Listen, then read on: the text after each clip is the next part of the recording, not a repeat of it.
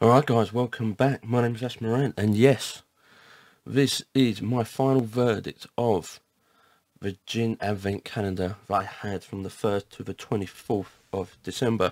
Before I start, um, I got this for Christmas. So as you can see there, I've got a flavoured gin selection. Fentimans mixers as well. So I've, I've got, oh, I can't even see. So I've got Miller's, what's that one? Uh, Martin's Miller, Martin's Miller Gin, Hendrick's Gin, Slipsmith Orange Gin, and uh, Edinburgh Gin, Rhubarb and Ginger. And with the mixers, they recommend Miller's Gin with Fentimans Grapefruit Tonic Water, uh, Hendrick's Gin uh, with Oriental Yuzasu Tonic, I've never even heard of that, Slipsmith Orange with um, Fentimans Orange Tonic Water, and rhubarb and ginger with pink grapefruit tonic water. So I will be doing that at some point uh, during the week or from January onwards. Um, yeah, so without ado, let's look at the gins, which I've taken pictures of, of what you get in that gin bit. Now, they might change during the time, I don't know, but I'll leave a description um, with all the gins that I've done, with all the links from the 1st to the 24th, and see what you think. If you don't like it, that's fine. But I thought I'd give you uh, what comes with it and my final verdict on it. So let's have a look at the gins. Okay, so here we go. So this was from day 1 to 24. So that's day 1. We got the uh, is it Cacaro gin served with a twist of orange. You've got the McQueen Scottish gin, colour changing. That wasn't too bad. If you have it with tonic, it doesn't change. But if you have it with lemonade, it does change. The Birkenshire Botanet, Botter Nickel Gin. Do apologise if I can't pronounce it, but you can buy these actual bottles somewhere. I think you, they range from 15 to 35 pounds in some places.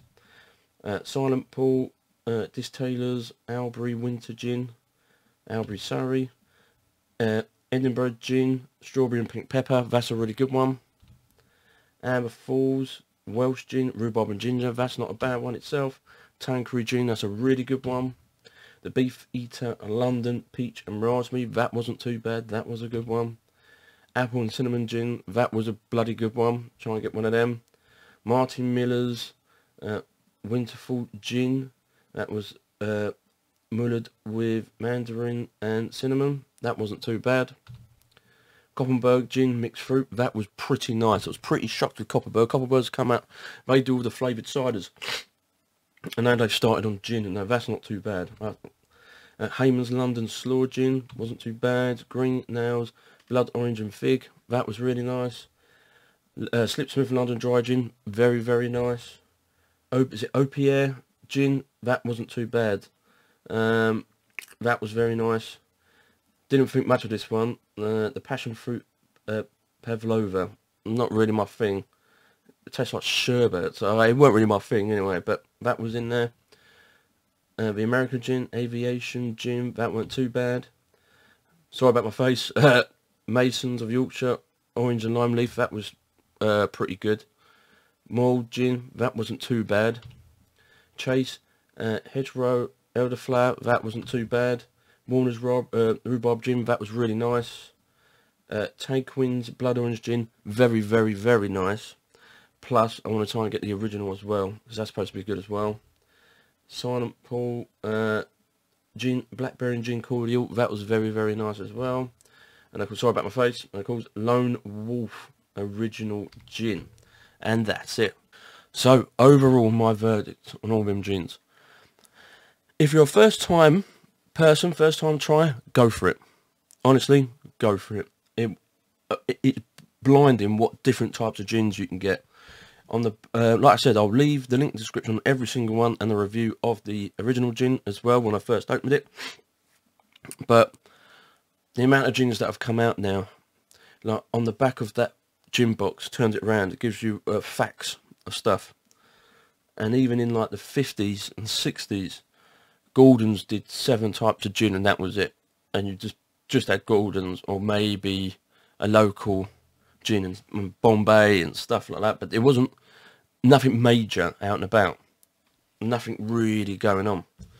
Now look, every per, like every company, every distributor. Uh, everyone wants a piece of gin, flavoured or original, and it's really, really good, really good, and I don't blame them. First time buyer, go get one. Honestly, go on Amazon, type in gin advent calendar. There's tons. That was about 60, 70 pounds at the time. Um, if you wait till about the um, maybe the first or the second, maybe, or just before, maybe the last week of November, some cheaper deals are on there, but there's lots on Amazon. That's where that was from. That was from Amazon, 50, 60 pounds. Um, but go for it. I've done with that one. I'm going to try a different one next year. But that was amazing. It was something different, something good. And yeah, I highly recommend it your first timer. I won't be trying that one again. I want to try something different and I will do on the next one. But good types of flavours. A lot of it was from England. That's the odd one. Uh, from India. There's an odd one from, oh, was it, America. And there was another one somewhere outside the country. I can't remember where.